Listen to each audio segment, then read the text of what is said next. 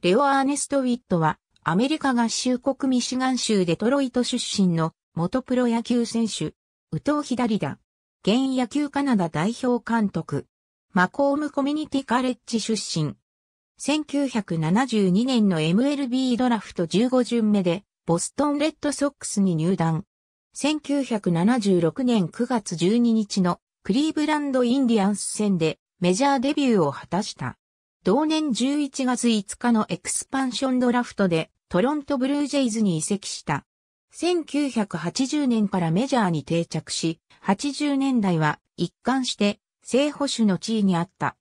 その間、8年連続で2桁本塁打を記録しており、チームが初の地区優勝を果たした1985年にはオールスターに選出されている。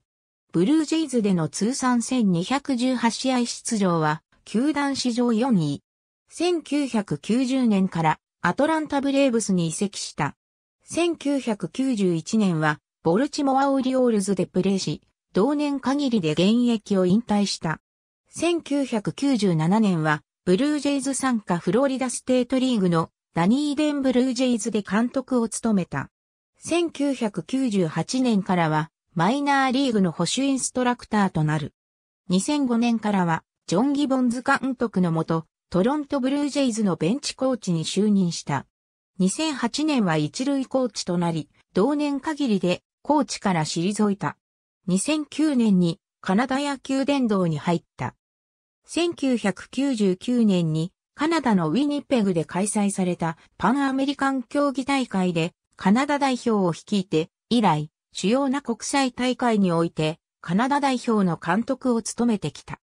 2004年のアテネオリンピックでは決勝ラウンドまで進出したが4位に終わりメダルは逃した。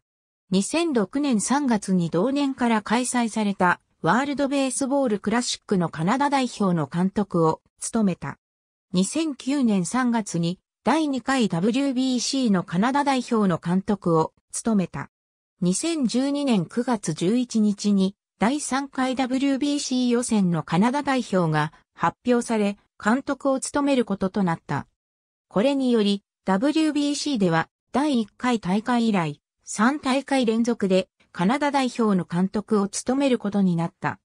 2013年1月17日に第3回 WBC 本戦のカナダ代表が発表され監督を務めることになった。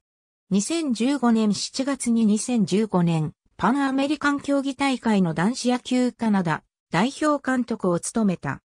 11月には第1回 WBSC プレミア12のカナダ代表監督を務めた。2017年3月に第4回 WBC のカナダ代表監督を務めた。ABCDEFGHMANAGERANDCOACHESBLUEJAYS.com ハットセプテンバー12、